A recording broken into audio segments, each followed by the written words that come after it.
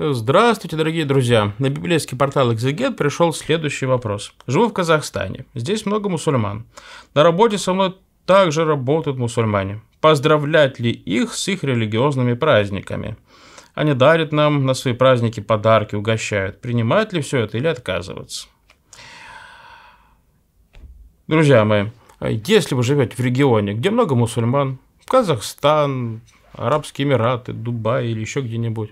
Э, во-первых, вы спокойно можете покупать халяльное мясо, которое продается в их магазинах, потому что оно не является идоложертвенным.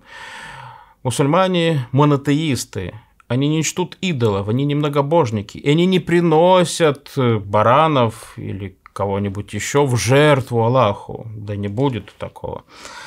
А, поэтому те подарки, которые они дарят вам в дни своих праздников, принимайте. Угощение вкушайте. Поздравлять, поздравляйте, в этом нет никакого запрета.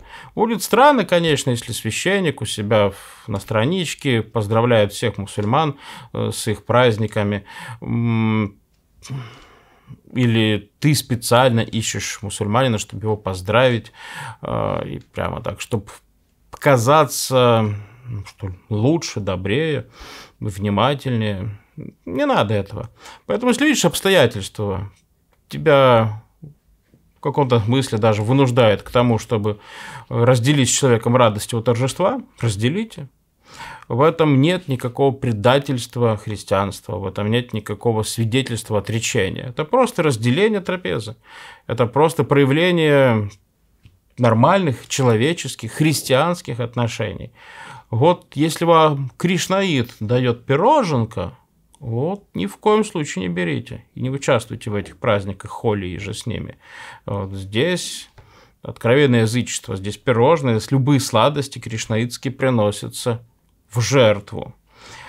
А, и в других религиях, в язычестве то же самое есть, но там вас особо не накормят.